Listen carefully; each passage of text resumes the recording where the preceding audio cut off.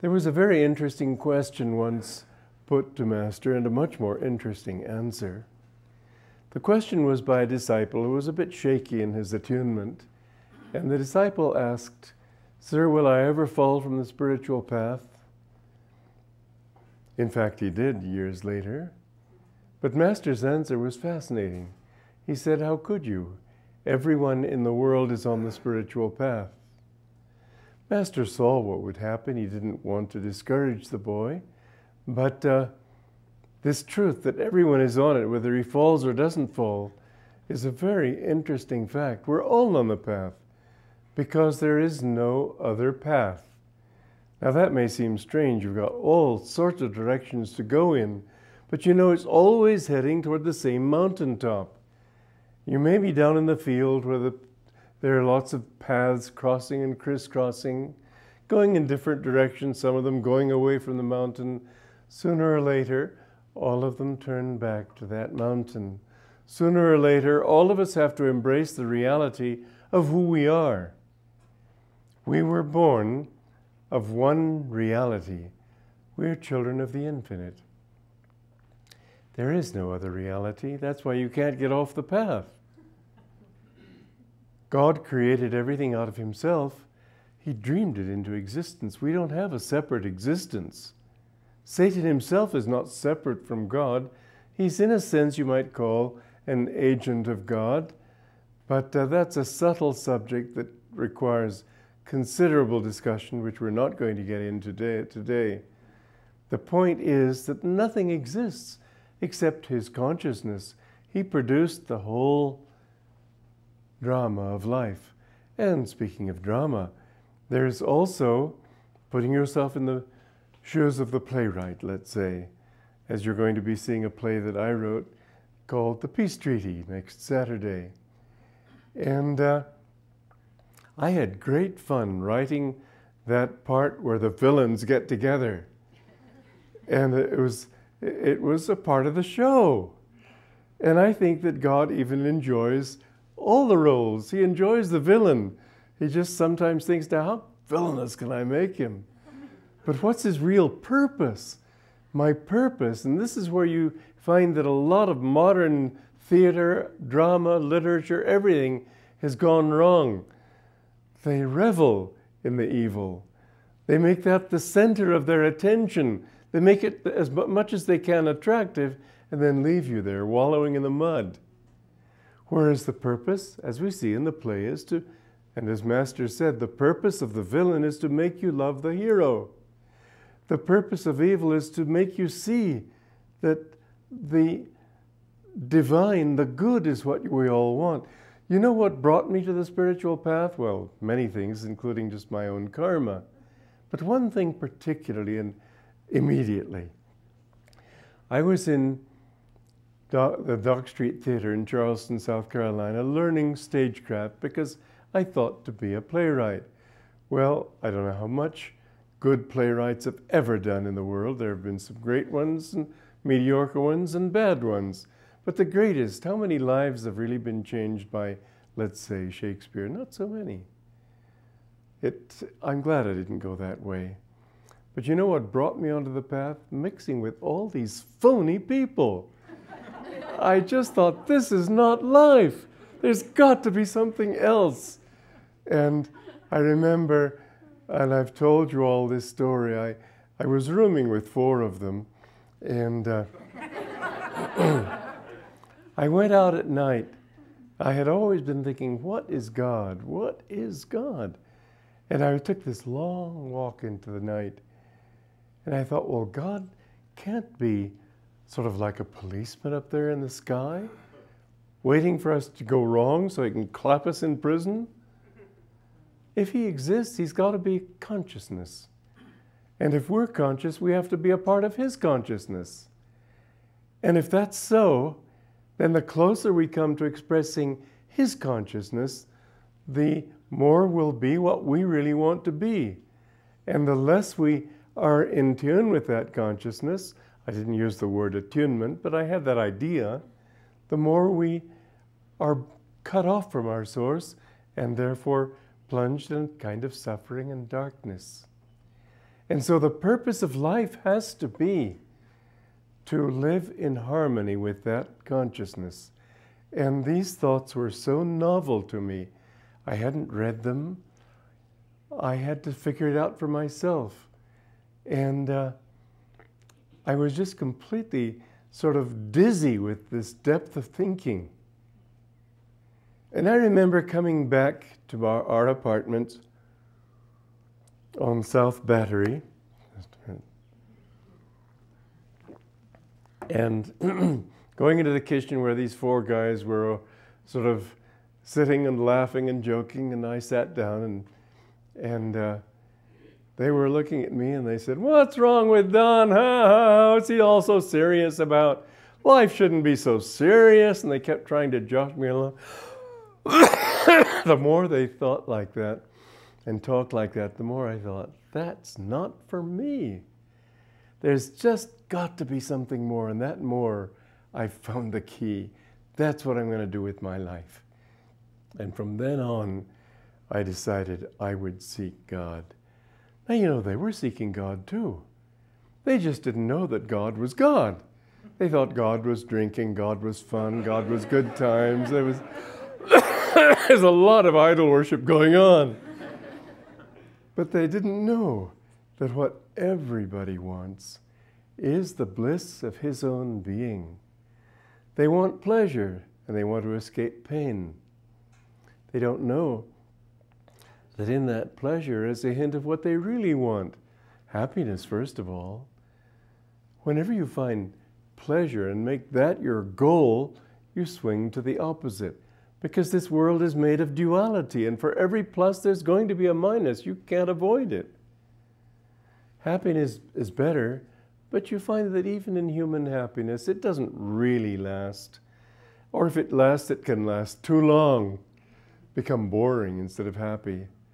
Like in this book that I've just been finishing doing, I thought it was finished, but it's not quite finished. God is for everyone. And uh, in that book, I talk about people's, many people's dream of happiness is a lovely cottage by the sea and um, sort of like Sherlock Holmes when he retired with rose bushes and bees and the lovely surf and all the things that people dream of when they think of a life of peace. Well, okay, for a year, maybe for a few years, 10 years, I don't know. A lifetime? Oh my God. Eternity? Ah! there comes a time when it becomes boring. Nothing that is external can ever make you what you really want, give you what you really want. It's got to come from inside.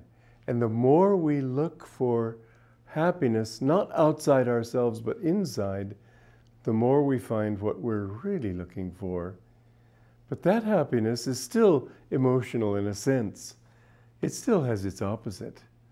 Whereas there's a truth behind that that is the truth of the soul, and that's bliss, to which there is no opposite. That bliss is the motivator in everything that every creature does in this universe. We're all pulled forward, consciously or unconsciously, by the desire for bliss. That is the spiritual path. We all look for the bliss of our own being, and that is God. God isn't some person up on a cloud. God isn't sitting up there like a policeman waiting for you to make a mistake. God's inside you, and He always loves you. No matter what you do, you can't get away from that love. But there is always inside you that pull. Because after all, He put you into creation, and that means an outward move. And so we've been, actually, the cards are stacked against us in a sense. And sometimes I'm not sure it's fair. But anyway, here we are. What we, we, we have to do what we can with it instead of worrying about the rights and wrongs of what he did. The plain fact is that when we're born, we're already born into a situation where our energy has to go outward. We've got a body, we've got to keep it fed, we've got to breathe, we've got to learn how to control our limbs and our bowels and all the various things that go with growing up, you're already, your energy is going outward, and suddenly you get hit with these spiritual teachings that say, no, no, go within. And you think, what the hell for? You're used to going outward, you're guided by habit. And so, whereas the true spiritual path is going within, the other side of it is that we're always taken away from that path by, well, desire. We, are, we have many memories of uh, things that were pleasurable. I remember when I, when I gave up smoking, I was 21 and I had never smoked very much. Um, I gave away most of my cigarettes, but I still, I smoked. And I finally decided that I wanted to be a hermit. This was after that evening there in Charleston. And I thought, well, who ever heard of a hermit who smokes? I mean, how, how could I afford cigarettes? and so I decided, okay, I'd been trying for a long time to uh, think about this. Finally, I decided I, I would quit. But you know, it wasn't so easy. Habit was there. And uh, I, I remember that after a meal, I remembered how pleasant it was to smoke a cigarette after a meal or with a cup of coffee. And so I always fell back into it.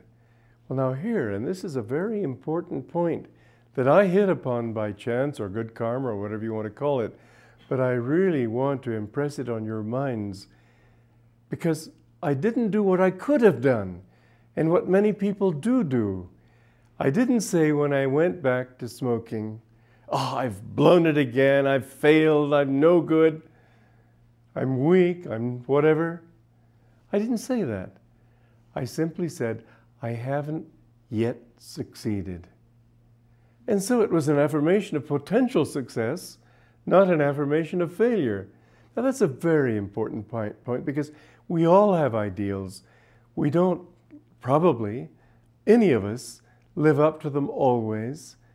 And sometimes there's a tendency to just really beat yourself if you go wrong, if you make a mistake. Don't do it. That's an affirmation of failure. Just tell yourself, I haven't yet done it. And so this went on for about a year, sort of on again and off again, until finally my affirmation of I haven't yet succeeded brought me to the point where one night I said, okay, I'm giving it up. And I really meant it.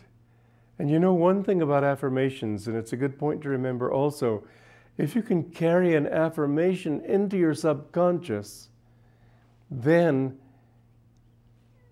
it goes, it sort of changes the habit, pattern, habit patterns in your own subconscious. So I also went to sleep with that thought. I think that helped me. But I remember I called one of these roommates in, or I didn't call him, and he happened to come in for some reason or other, and I just told him, Well, I've given up smoking. Ha ha ha, we've heard that one before. I was very calm. I didn't respond. I wasn't a joke to me, and I wasn't something I was trying to boast about. I just said, Well, we'll see. The next day, I had no desire to smoke. Never have had another desire to smoke. Only once, two months later, I dreamed that I smoked. And the joke of it was, I also dreamed that my father, who had given up smoking, smoked, and I felt so badly for him. but that's just a quirk. the fact is that you can, if you keep saying, I haven't yet succeeded, you can come back to what you really believe in. Now, what's the alternative? I've seen it happen. Gosh, I've been on this path now for what, 55 years? That's a pretty long time in a short human life. Not long in eternity, but for us'ns, it's long enough. And I have to say that I've seen a lot of people, a lot and a lot of people going in all sorts of directions. And I've seen that there are certain patterns that flow, that work out, and that people, when they decide that, well, no, I, I don't think that I want to be that much of a fanatic. I'd rather really have a good time. I see them a little bit later and they aren't happy. They don't have what they really want. They can try to cover it up with boasting, but they don't have it. And I've seen people who really stick to their guns, and it may be difficult. And it certainly is difficult. It's a lot easier to climb a mountain than fall down it. But of course, when you fall, there may, you just never know what's going to happen. You could crash, you could kill yourself. And to kill your body is nothing but to, you don't kill your, your soul, but you can certainly ruin your consciousness for a long time to come when you turn away from who you are and from Him who is there trying to help you because God wants to help you. God wants to lift you up. But if you turn Him away, as Yogananda said to somebody, if you keep me out, how can I come in? We're the ones. I remember a uh, disciple of his, Debi Mukherjee, not the one you all know, but another one who lived at Mount Washington. And uh, he was always joking and superficial and light minded, and Master scolded him for this. And one day Debi said, Well, sir, I, I know I want to help, I, but how can I do it without your blessings? Master said, My blessings are there already. God's blessings are there. It's your blessings that are lacking. In other words, we've got to do it too. You can't just sit back and say, Well, God, do it. Take me. He's not going to take you. You've got to give yourself, then He'll accept you. So, what we need to know is that there are possibilities for detours. And people may think that in that detour they've finally found it. And I've seen this happen many times that people will suddenly discover that, uh, for instance, one disciple that I knew, he always had a certain subconscious interest and desire for science. And somebody who was a scientist told him, I think you could have been a really good scientist. Somehow this got into his subconscious. wow, I could be a scientist. And that desire suddenly flared up. And you know, there are a lot of little subconscious desires. There was one uh, other disciple who wanted to be a musician and had instead given her life to God, but that music, desire to be a musician never left her. And I could tell in the way she spoke that there was, it was just there. Um, the, the memory of wanting to be a science, that scientist, that thing that flared up like that, suddenly made him get out of tune. And he ended up not being a scientist, they never do. He just didn't follow God anymore. In fact, he turned against his own guru. Sad, but it does happen. Look at Judas, perfect example. Judas was a true disciple, a great soul, Master told me he was a prophet. But he had this desire for money. Interestingly, Master said that he knew Judas in this life. That Judas had been liberated finally after 2,000 years. You might think after a sin like that, 2,000 years may not be much. After all, he was a disciple. He was a great disciple. But he had that little desire for money. And uh, Jesus appeared to this master in India. That's what master told me and asked him to liberate him. And I, I said to him when he, he said I knew him, uh, I said, well, what was he like? Master said, always very much by himself and withdrawn. He still had a slight attachment to money, and the other disciples sort of ribbed him for it. And the, uh, the guru said, uh, don't, leave him alone. He knew what he'd gone through. But you know, it's an interesting thing in the case of that disciple that he had. Uh, he had a lot of interest in money, but in a generous way. He wanted to get money for the guru. But he had that samskar, which he had transmuted. Still, it was always there, and he just purified it. But you see, out of the desire for money, he began to think, as Judas, that, uh, well, after all, what is this life here? Just living with no money, without practicality. Look at these people in the world. They know what to do. I've seen this happen. I've seen people suddenly think that worldly people, people of success in the world, they know what it's all about. We're just a bunch of dodos here. I've seen people come into our publications building and see how we do things, and well, we're pretty efficient nowadays. We didn't used to be. In fact, in the early days, people would sort of drift in and out of the office as they liked. It took Savit, really. She came in every day at nine and finally, people began to feel, oh, all right. So they started coming in at nine. But we were basically, you might say, inefficient. And yet, somehow, we managed to make things work and we got it together. And skills that we didn't have, we learned. But the interesting thing is that people with these skills often have thought that we ought, I ought to teach them how to do things. What I've seen, though, is that people who get into that thought pull away from the spiritual path. There are many ways of doing the same things. You can be an accountant in all kinds of different ways. There are rules that have been evolved for being a good accountant. But they don't have to be always exactly like that. There are rules for running a business. They don't have to be exactly like that. It always seems to come back to from your center, you can evolve the best ways of doing things. Look at art. There's so many ways of painting.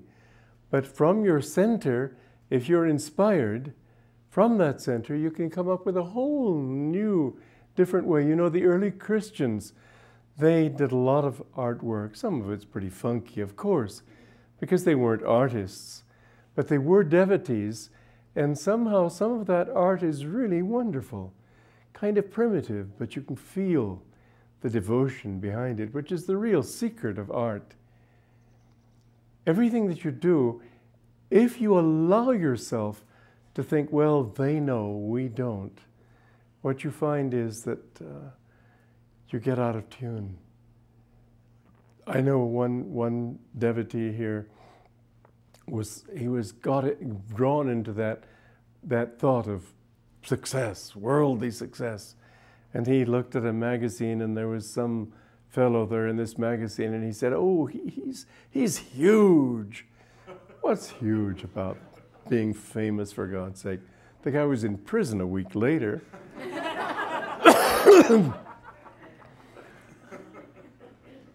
Be true to your own funky self, for God's sake. Don't think you've got to do it this way or that way, but be true to who you are. And you'll find that if you are true, you'll do it well. It may be different, but it'll work. I know this, this uh, man came here, uh, Michael Meyerhofer, in fact, from Vienna. And he told me that uh, the way I saw them working in the office, just no system. Um, he just couldn't figure it out because not only was there no system, but everything worked this, for his rigid Austrian mind, just didn't make sense. But I don't say be haphazard. No, I don't.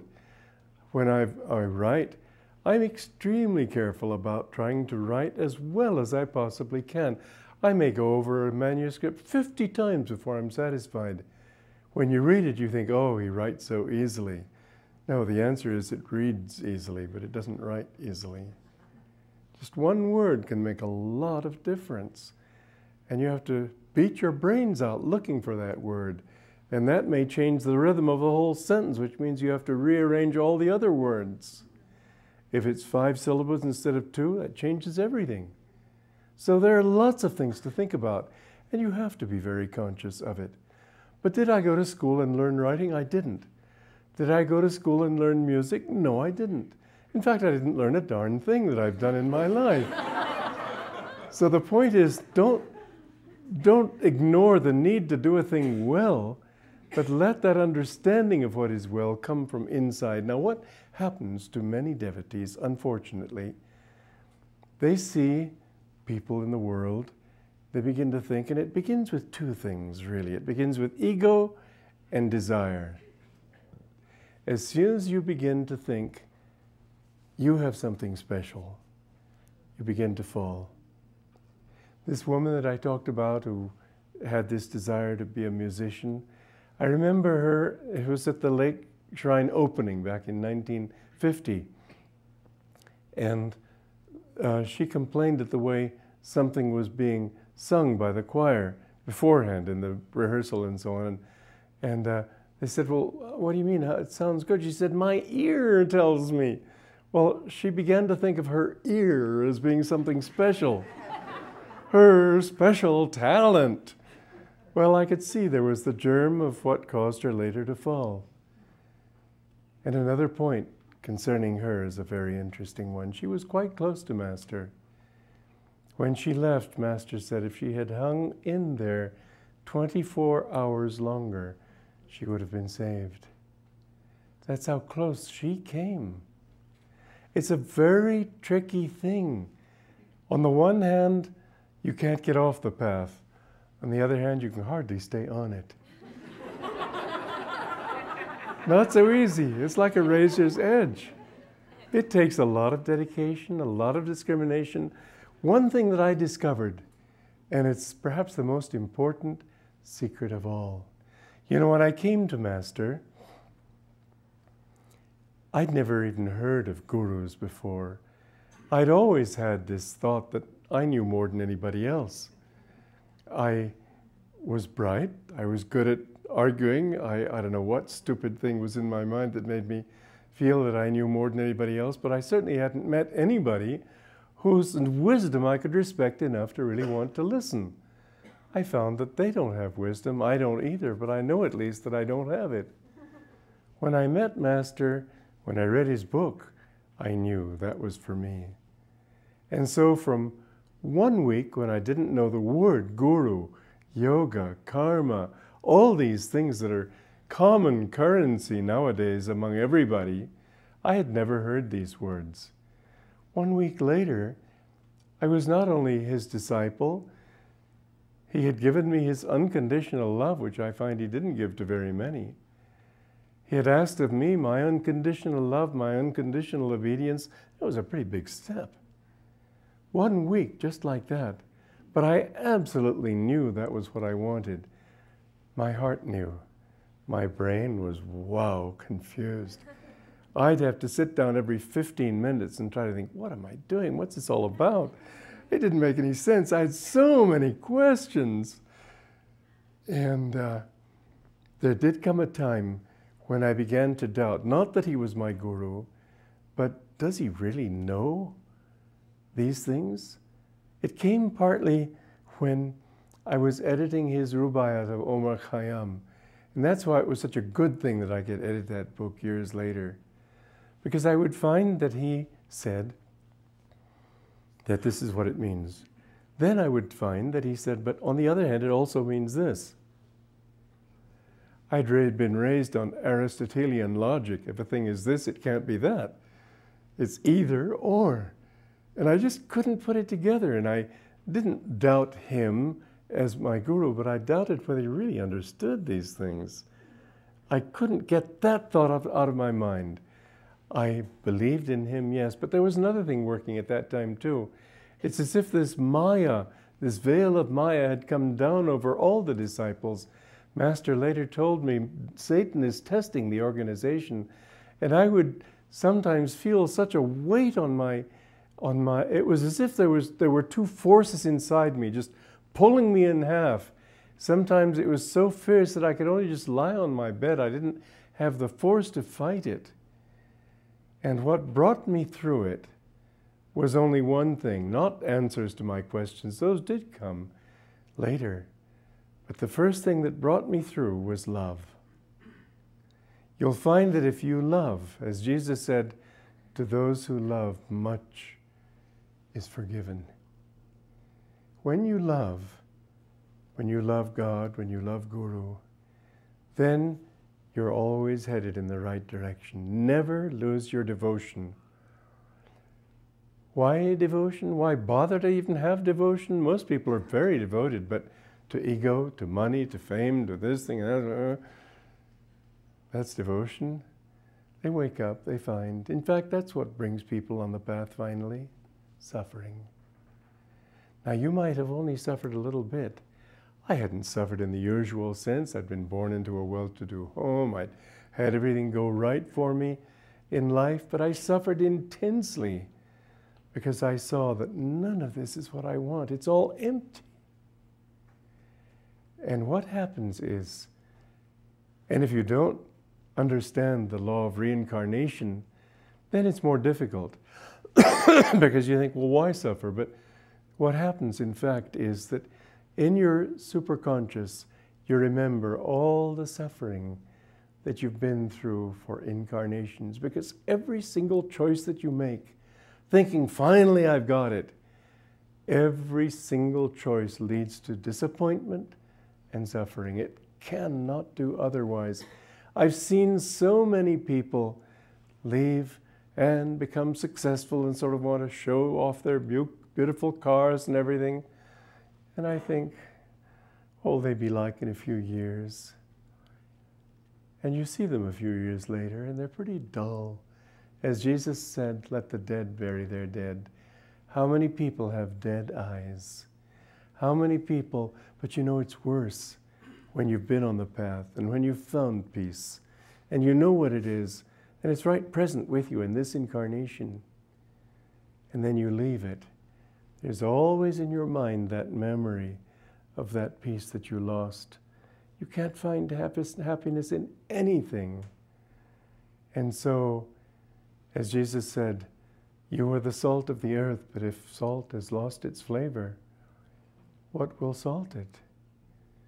Devotees, when they lose their devotion, devotees, when they lose their peace, what have they got?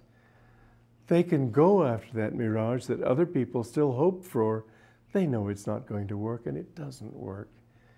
And I've seen it so often that it doesn't give them what they're looking for, and so they suffer. Now, the path does not mean a place. The path does not mean Ananda, SRF, this church, that church. No. The path is your inner dedication to God. You can have that dedication wherever you are. It would be a mistake to think that if you leave this, like the, the fellow disciples of Buddha when he was going through those extreme ascetic practices. And he left them because he knew that was not giving him what he was looking for. And finally, he found the truth. And three of these devotees saw him, these ascetics saw him from a distance. I told you this story a few weeks ago. And they thought, oh, he's a fallen soul. We mustn't even look at him. And then they suddenly felt, even as they turned away, there was something in him that didn't seem fallen. It, it was attractive. And so they went and asked him. And he delivered at Sad, Sarnath his first sermon. And as I said the other Sunday, that wasn't his first sermon. His first sermon was just standing there. That was his sermon. People felt in his very presence an aura, an emanation of something powerful.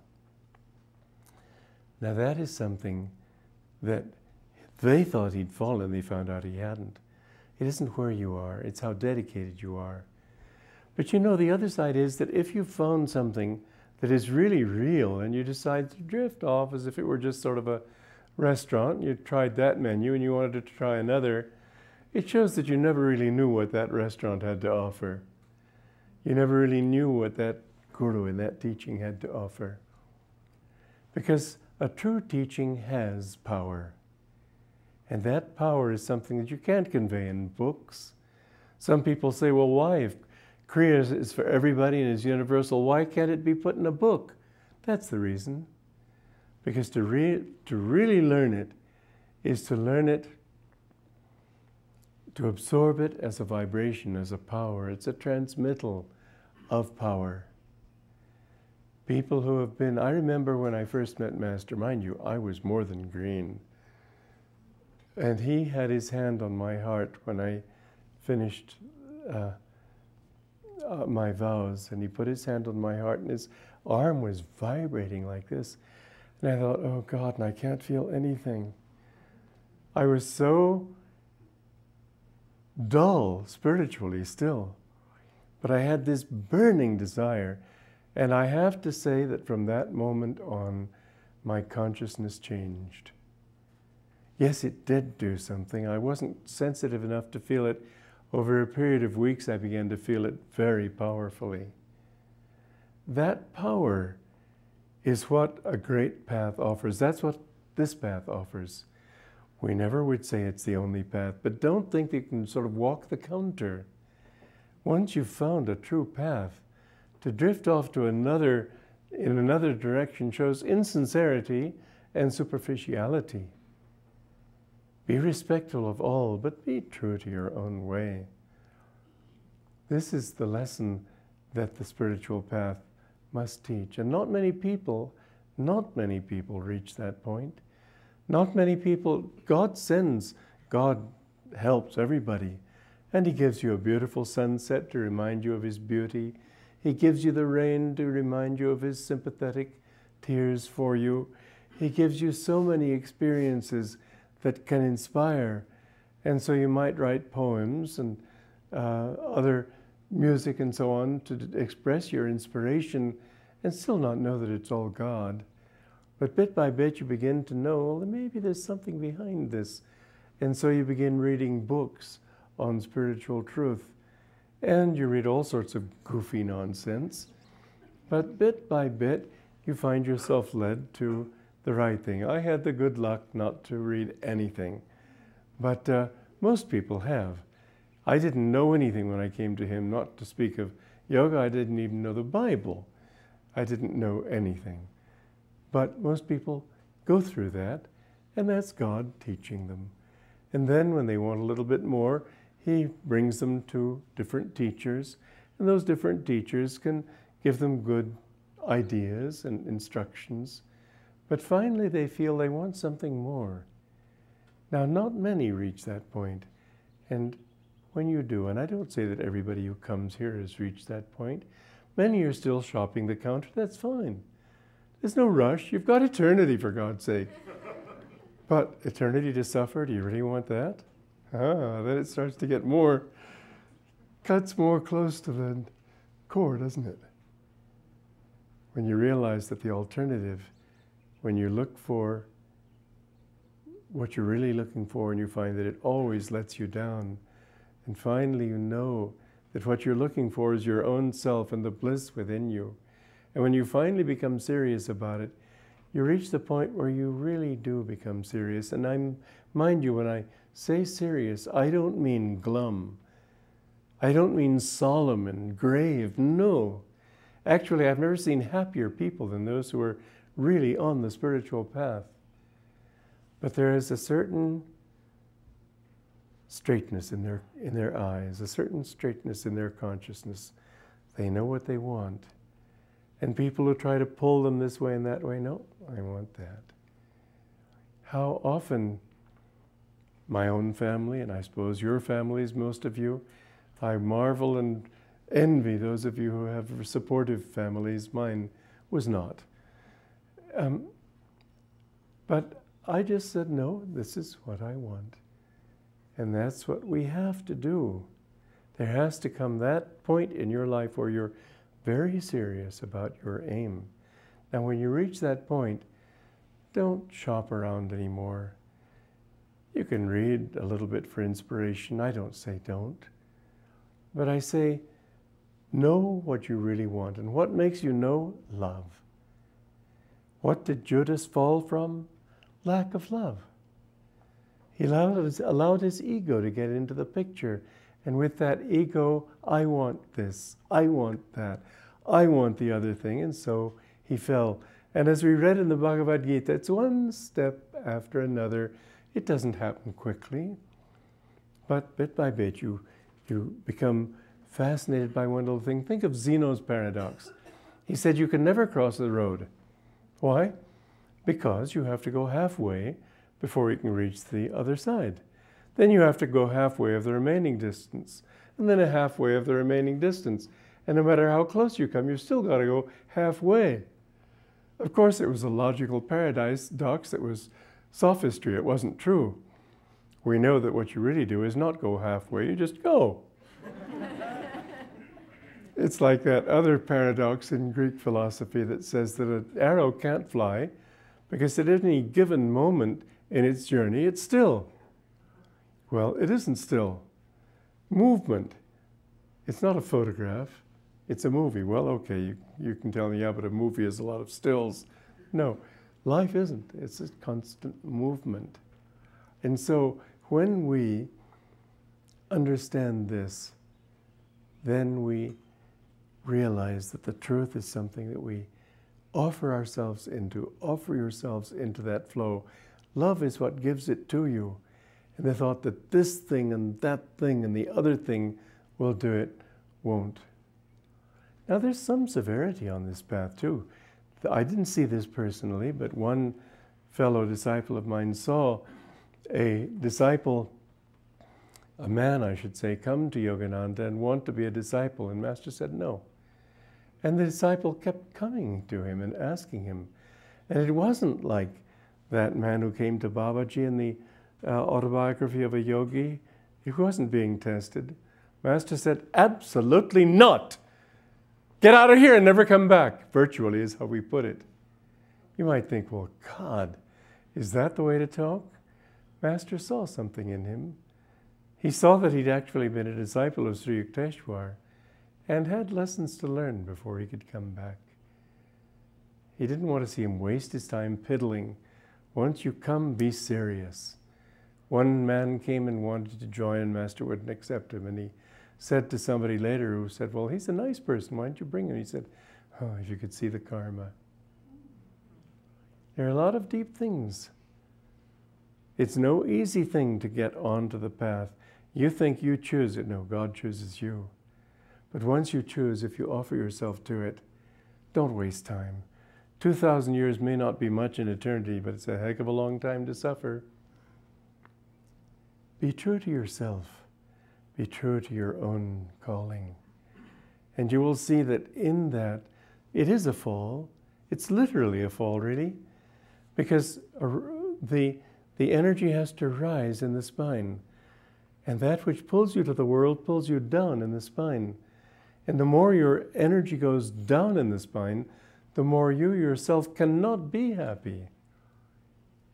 The more the energy goes downward, you feel depressed. We have words that say it. I feel low, I feel depressed, I feel heavy, or I feel like soaring, I feel high, I feel uplifted. It's something everybody understands to a certain point. We need to do that which will lift us. There are two ways. You know, Tolstoy said that when you um, go on a journey, the first half is spent looking backward, the second half is looking forward.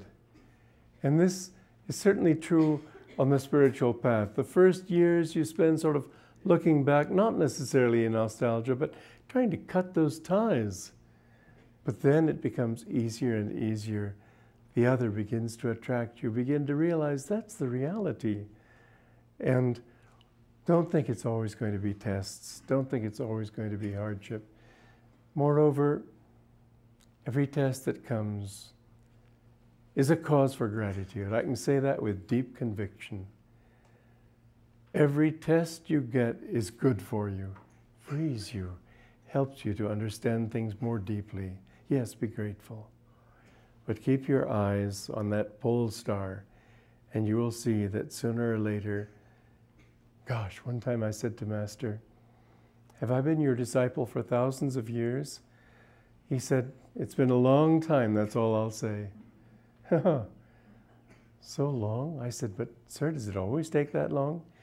He said, Oh, yes, desires for this thing and that thing take one away again and again. Don't let it happen again. I asked him when I first came to him, Have I been a yogi before? He said, Many times. You'd have had to be to be here. That goes for all of you. You'd have had to be in doing these things for you to even be here if you're sincere about it. But don't let it happen again. Once you really put yourself, put your hand to the plow, as Jesus said, don't look back. Go on. You'll see that it becomes easier and easier. And the joy that the saints have expressed is your joy. It's not something for wonder and admiration of them, you've got it. It's a question of becoming that by just looking and going in that direction, one step at a time. It doesn't take more, but make that direction always the same one.